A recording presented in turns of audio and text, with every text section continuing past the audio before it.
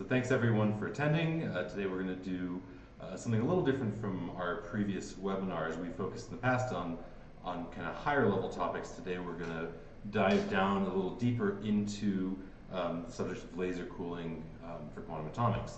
Uh, so our, our uh, we've got some upcoming webinars that we hope you, you join us for. We're going to be talking in, in future subjects on ion traps and atomic clocks and more to come. Um, but we assume that you're, you're here for this webinar because you've got the quantum bug and you want to learn more about, uh, about quantum atomics. Uh, and you'll notice that today we're doing a slight, something slightly different. You can see my face, which uh, is, is great that we thought we'd try and make this, this whole thing a little bit more personal in times of COVID. Um, and so the, if you want to be in the quantum world, it helps to be cold. It, help, it helps to be at, at, low temperatures, which is why we've named our company ColdQuanta, because the best quantum particles are the ones that are cold. And the reason that that helps you out so much is that at high temperature, quantum, there's a couple reasons. One is that at high temperatures, quantum particles uh, don't really behave quantum-y. They, they behave more like classical, classical um, balls. They, they, we, we call it the billiard ball model often, where they're just a bunch of particles moving around in free space. As you get to low, low temperature, something interesting starts to happen. Um, according to old man Louis de Broglie, the, the matter wave wavelength is proportional to um, 1 over the square root of the temperature. So if you get to lower and lower temperatures, you get to longer and longer wavelengths, and eventually you get to the point where you can start uh, getting macroscopic quantum phenomena at, that are at scales that we as humans can comfortably interact with them. Uh, so that's, that ends up being something that's very helpful. The, the other reason is that if you want to be in, in quantum state matter, work with quantum matter, the quantum states are very fragile. It takes very little to disrupt them, um, which is why you see all of these systems that are, um, the, the superconducting groups always have these beautiful cryostats that, that the, their their little uh, superconducting uh, gates are chilled down to sub sub Kelvin temperatures, and then the ion trapped world, the, the ions are trapped uh, also using lasers um, in in some some sort of a, some sort of confining potential, and of course neutral atoms. All of the most interesting things that we do with neutral atoms are done in in confining potentials after we've cooled them down. So today, what we're going to talk about is how do we get there? What is the so-called, so, so to speak, what's the birth of the cool? And that's the subject of laser cooling. Uh, the, the goal of this, this webinar is to be not so much a, um, a, a, uh, targeted to experts on atomic physics. My hope is that if you, you are interested in the subject, but maybe not already a professional laser atom trapper, uh, that this will, this will help provide you with a somewhat intuitive understanding of how laser cooling of neutral atoms works. Um, and if you've been paying attention to our webinar series, you've seen this picture a few times, and that, and hopefully by the end of this talk, you'll know what that picture means and why we think it's an important one to show at the beginning of all of our, our presentations. So let's dive in and start with some building blocks. Uh, right, right from the beginning, we, want, we got to say what is an atom and how do we how do we interface with them? We we love to show these beautiful artistic renderings of what atoms are that make make you think that they're very quantum and uh, there, but there's a lot of different ways that one can think of a model. Our, our, the ancient Greeks thought of models as billiard balls, that they had a, just the, the atom was the fundamental unit of matter. There couldn't be anything smaller, and they were just little balls that would bounce around into each other. Over time, it was found that that was not the best picture of how to think about it. J.J. Uh, Thomson came up with what they, was called the plum pudding model, which I really like because it's funny to talk about plum puddings in, in the context of atomic physics. But this was when they, they started to understand that there was some charge associated with the atom, that there were electrons that were coupled to the atoms. Um, but they just said, well, there's some positively charged mass. Eventually, through through um, understanding atomic spectra and understanding some uh, some uh, scattering experiments, it was understood that there's actually a nucleus, the, that there's a very, very dense section of the middle of the atom where all the positive charges stored and all the negative charges somewhere else. So Bohr wrote down this model where he said, okay, there's a bunch of bands and the electrons are allowed to live in different band, different energy bands, uh, and they can fill those energy bands. Um, and that, that described a lot about the atom- about atomic spectra, but it didn't quite tell the whole picture. So eventually, you had to go to a wave function model and describe the describe the behavior of those those electrons outside of the nucleus in um, with with more uh, with, with a like progressively more and more accurate description. For our purposes, this is a little bit deeper than we need to need to be. We can we can actually get get some pretty good mileage out of the ball model, but we're going to sprinkle a little bit of Bohr on top of that, and we're going to put an electron, a single valence electron, floating around it. But I'm going to throttle back. I'm going to say that my valence electron only has two states. There's an excited state and there's a ground state, and the energy splitting between them um, scales as this h bar omega naught, uh, where omega naught is some frequency that's associated with, with that transition energy. So let's think a little bit about what does it look like to scatter uh, um, light off of these atoms. If I, if I shine a laser at the atom, and my laser is far detuned from resonance, so my, my, my laser frequency here, um, I'll turn my laser pointer. So my laser frequency is at a, is, is not at the resonant frequency of, of my atom, then nothing happens. The atom, the photon just whizzes by. But if I tune my laser frequency so that it's resonant with the transition, now the atom will tend to absorb that photon, excite that valence electron into the excited state. It will hang out there for a few hundred nanoseconds, and then it will emit a photon. The direction of that photon will be random. Sometimes it goes off that way, sometimes it goes off this way, sometimes it goes that way um, and so on and so forth. And photons are kind of funny little creatures. They have no mass, but they can carry momentum. Uh, so every every time my photon is is colliding with my atom, it's a uh, it, it, transfers momentum to the atom. This is all. They can also carry angular momentum, and that's going to come up in a, a, little bit down the road. Um, but the that collision is completely inelastic, so we can work out what the momentum transfer per photon. So every there's h bar k per photon, um, where and then the the atom scatters off that that photon, and when you average out all of those rescattering events, it averages out to get about half a momenta photon per atom, which doesn't sound like much. And we can work out what that force is. We can say that the, the it's the change in momentum over change in time gives us the force and we know the scattering rate of, of rubidium because we've measured it. It's about 6 million uh, photons get scattered per second. And so we can work out what that force is, something like 10 to the minus 21 newtons. Doesn't sound like much until you think, oh, it's a rubidium atom and it's only 10 to the minus 25 kilograms. So that's something like 3,000 times the force of gravity, which is enormous. It's actually a very violent thing to do to the poor atom. So um, that's all great, but what does that have to do with temperature? We're talking about laser cooling. How do we get? How do we use applying a force to atoms to get cold? Uh, so remember, we can relate temperature to velocity. We're going to assume, and it's a pretty good assumption, that our atoms are pretty much an ideal gas. So we don't have to worry about them interacting with things that much. And we can evoke the equipartition theorem and just say, here's a relationship between temperature and velocity. And so we so we can just say if, if we are going cold, if we're colder, they're going to be moving slow, and that's that's our basic premise. If we want to make them cold, we have to slow them down. So there's one more uh, bag, th- th- one more th- trick that we need to add to our, our toolbox, and that's the Doppler effect. Uh, you, whether or not you know it, you're familiar with the Doppler effect because you've heard a car drive by, you've been to a racetrack, and you've heard the car go, and the frequency changes as the car's coming towards you versus when it's going away, or an ambulance.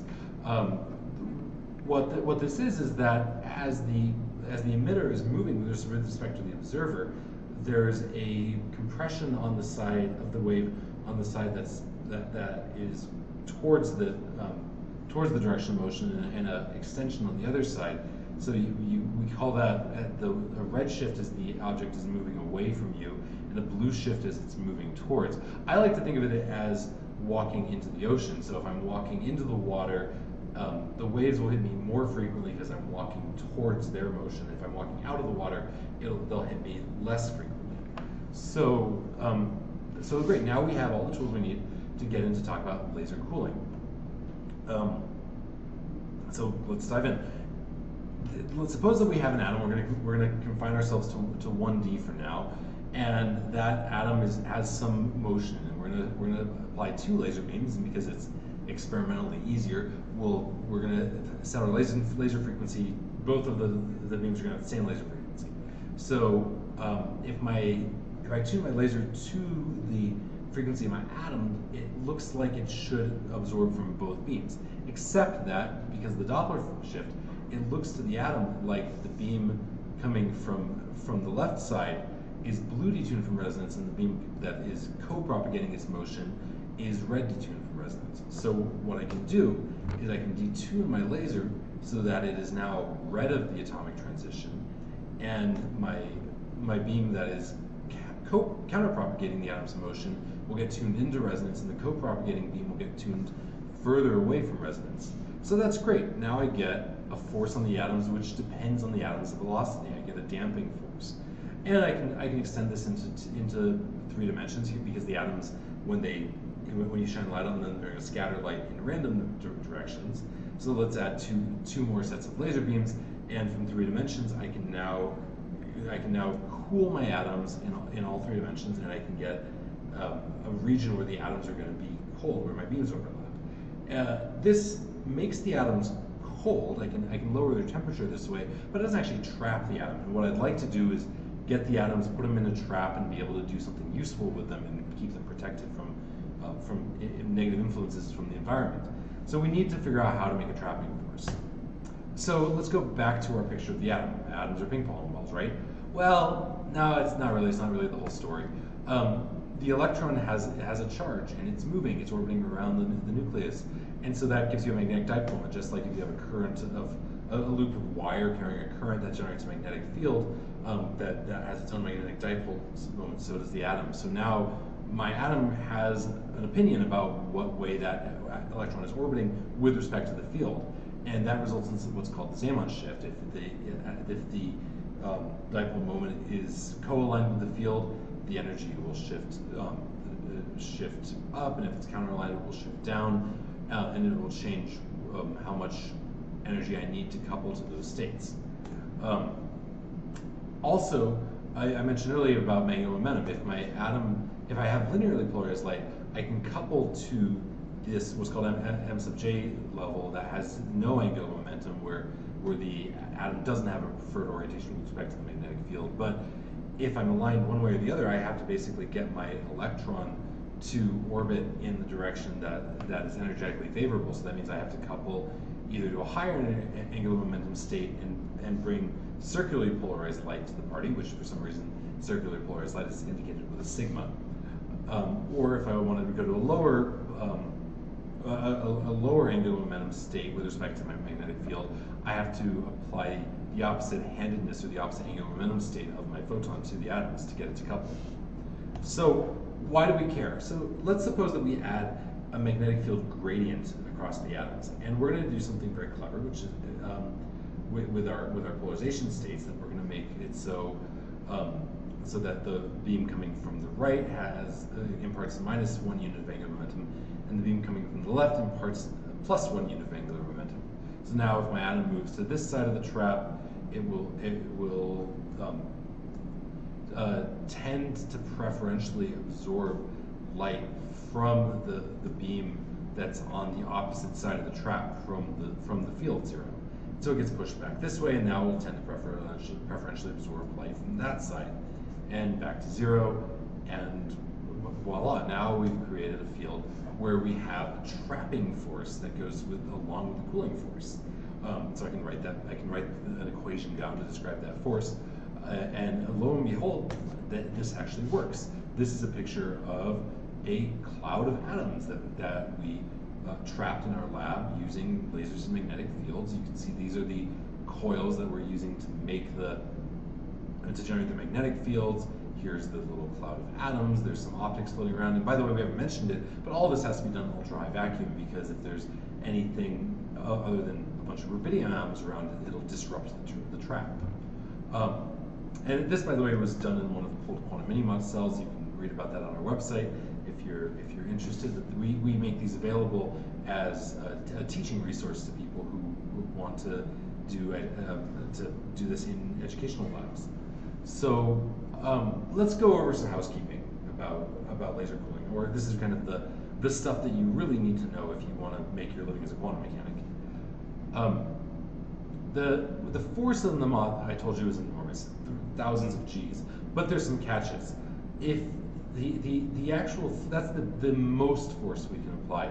The reality is that the force kind of depends on, on what the, my laser detuning is and my power is with respect to the atom's motion. So if I, I can, if I, once I pick a laser detuning, I've kind of picked the velocity of the atoms that I'm, I'm gonna trap. So the, the fast, you know, in this, in this particular detuning, I'm, I'm optimizing, I get a maximum force for the atoms that are going around a meter per second for this calculation. Um, and so what that means is that I end up with kind of a threshold behavior where if my atom is going too fast, it doesn't experience much of a force from my from my optical field, and it just goes flying past the middle of the trap. Um, so I can only capture up to a certain velocity of atoms, and that that actually ends up being very strongly dependent on things like detuning and particularly beam size.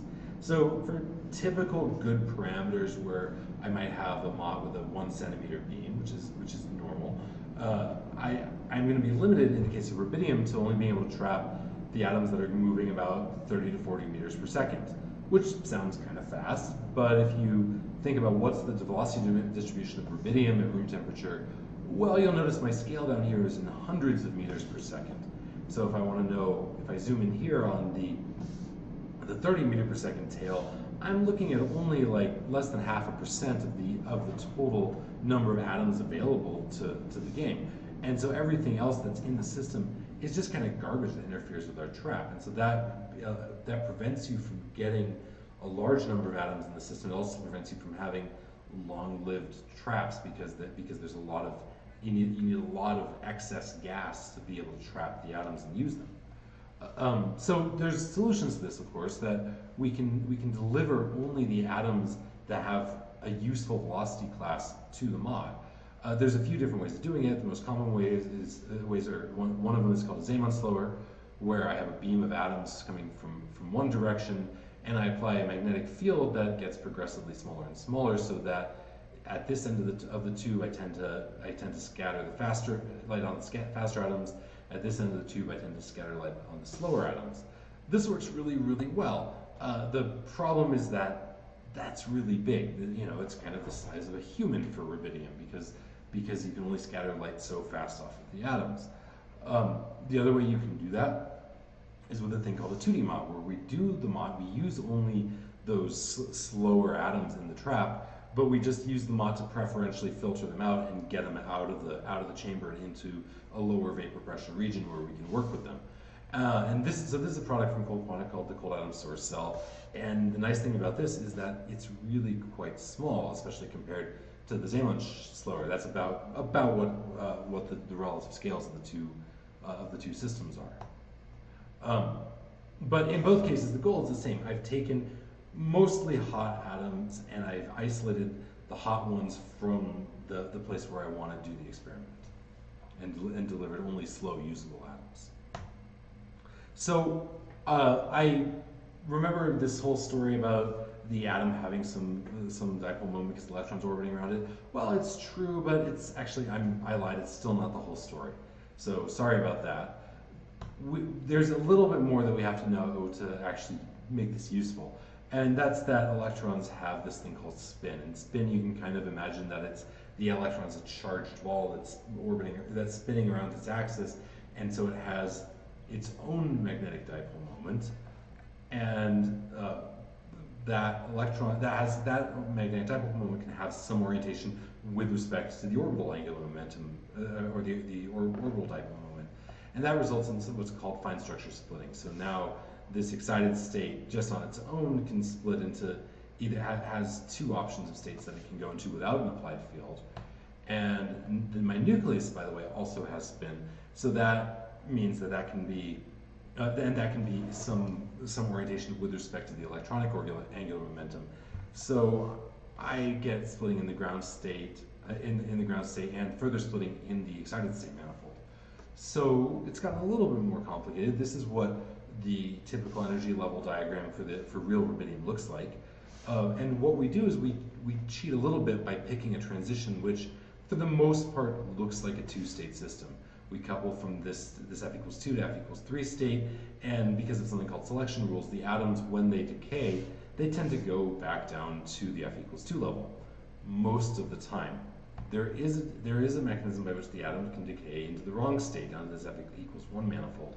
And it doesn't happen often, maybe once out of every 10,000 times. But that means it would only take a few tens of milliseconds to go dark, because remember, our atoms are scattering at something like 6 million cycles per second. Uh, so uh, we have to add another laser. That, that's called a repump laser, which pumps, we, we excite atoms from the F equals 1 state back to some, one of the excited state manifolds that, that can then decay into F equals 2, and it's back in the game. We can keep, we can keep laser cooling. Uh, so it's a, it's a reasonable question to ask, how cold can we get? How, can, how, how low of a temperature can we make our atoms? And uh, let's think about what happens to the atoms inside of them. I already told you that the atoms get pushed around back and forth, so sometimes the, uh, the atoms are going to keep moving while they're being cooled, so they're going back and forth, they push from one side of the trap to the other. This motion is commonly referred to as a random walk. For some reason, every statistical mechanics professor I've, I've ever had likes to make this metaphor of this being like a drunk walking around that uh, that they take a step and they forget which way they walked before, so they take another step in a random direction. Um, I don't know if the drunk metaphor says more about the students or the professors. Um, that's up to uh, up to somebody else to decide. But uh, we can, using this statistical mechanic model, we can calculate what the low end of the temperature is for laser cooling. And for rubidium, it ends up being about 150 microkelvin which is pretty cold, but not really cold enough to start to see, to see any quantum effects. So we want to be colder. Um, we, and we can do that by using a technique called Sisyphus cooling, which calls to the, um, the, the, Greek myth of the, of, of, the character that was forced to push a stone up to the top of a mountain, and every, every time he got to the stone, the, st the top of the, the boulder would roll back down, you have to go back down, get it again, and push it back up. Um, and so you can do the same thing using atoms because we are, we are using coherent laser light to cool the atoms. What happens is you get an interference pattern of the, of the laser light that superimposes onto the atoms, and you get some a spatially dependent um, uh, variation in the light shift of the, of the atoms. So as the atom's coming along, it basically rolls up the optical potential to a point where it can get scattered into um, into a slightly lower state. That takes energy out and it does it again and again. And you can get down to um, close to what's called the, the, the, recoil limit, so the energy associated with um, the scattering of a single photon. And that's, in the case of rubidium, around 300 nanokelvin. Um, and that, that's cold enough to be quite useful and quite interesting, but it's still actually not cold enough to really take advantage of quantum effects. For that, we usually have to go to some form of subrecoil cooling um, this is often done by turning all the lights off and doing evaporative cooling, if, in the case of if you're making Bose-Einstein condensate. Uh, but there are there are techniques to get lower and lower energy levels, such as Raman sideband cooling or velocity-selected coherent population trapping. Uh, this is, goes a little bit beyond the scope of this particular lecture, but it's worth noting that these techniques are, are commonly used in the field, and they've even been used to, to laser cool atoms directly to a degenerate Bose, Bose gas, which is a, a um, this is work from uh, Vladan Vuletić's group at MIT. Um, so there are also a lot of other atoms. We've talked mostly about rubidium for no particular reason. It happens to be my favorite. But um, there's, the, all, there's a bunch of things that I've highlighted in blue here that are all the other atoms that have been laser cooled. And um, there, there's, it's worth thinking a little bit about what the difference is between these various atoms this first column, the alkali atoms, end up being the ones that are kind of easiest to work with because you need only two lasers to laser cool them. The lasers are usually uh, are, are, usually fairly convenient. Uh, so let's take a look just for comparison at strontium, uh, which is another very fashionable atom to work with right now. Um, so here you remember our energy diagram for rubidium. You need two lasers, cooling and repump. Both these lasers are around 780 nanometers, separated by a few, uh, you know, a few tens of picometers between them. Um, and so you, so in strontium, the strong cooling transition is at 461 nanometers, And that's actually enough to start. You can make a MOT with just 461 nanometer light by, by shining, um, by, by stimulating that, that transition. But there is a decay path me mechanism which the atoms can decay in, into, into, into this other manifold and that will decay into a very long-lived state. So if I want to keep the atoms into the game, I need to add in some, some more lasers. I need to have a, laser at 707 um, and, and one at 679 so that I can pump these atoms back into this ground state and, and keep them in the game. And by the way, if I if I'm going down that road, I can also laser cool on the 689 nanometer transition, which is a very narrow line width transition, and that allows me to get to um, to a much colder MOT. Uh, and if I'm going all the way to using strontium, I'm probably doing it because I want to do something with this really, really long-lived uh, strontium clock transition, which is what makes, which is what allows uh, some of the best atomic clocks in the world to be made with strontium. So I'm thinking about just what the lasers look like. Well, it's two laser frequencies. They're both right around 780 nanometers. Um, we can buy diode lasers with sufficient power, maybe with some amplification, to um, from, from commercial vendors to, to do this. We just have to put them together and stabilize them to an atomic transition. So it's it's pretty straightforward to get there. Um, strontium, well, the 461 line, 461 is a harder a harder wavelength to reach. So we either need um, if we're going to do it with commercial parts, we have to do it with something from a frequency doubled uh, diode laser or maybe a Ti:Sapph laser that's also been frequency doubled. And you need a lot of power because that transition line width is so much broader. Um, if these repump lasers, I can get there with diode lasers, and um, it's not that's not so bad. But there's no convenient spectroscopic lines around that I can use to frequency stabilize them. So I need something like a transfer cavity or a high quality wave meter or a frequency comb to stabilize those um, those lasers too. The the red MOT laser, it's a very narrow line width, so I need a narrow I need a narrow line width laser, which usually means I have to actively narrow an ECDL. So a laser like this will, will do the job, but I have to do I have to work really hard to get that laser to perform well enough. Um, and then if I want to get down to the clock transition, now I need something like a one hertz line width. So I'm kind of you're, you're starting to push the envelope of what's possible with commercially available stuff. And at the end of the day, this kind of ends up being all about the Benjamins. In the case of rubidium, we're going to spend something like 50 to 100k to uh, to, to make that that that laser system uh, using commercial parts. In strontium, it's going to be somewhere between 600 and 1.2 million, uh, just just to get the ball rolling and to, and to get started on on the laser system. So where do we go from here? We've talked a lot about how to make the atoms cold.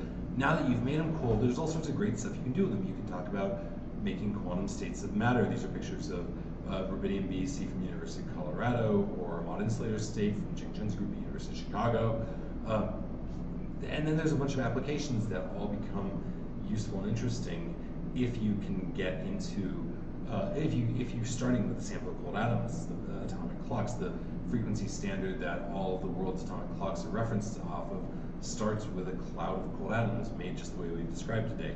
Um, if, if you want to make a gyroscope or an accelerometer that can be enabled by being cold, same is true for uh, for electric field sensors and quantum computers and all sorts of other quantum information uh, processing techniques that, that are being currently studied.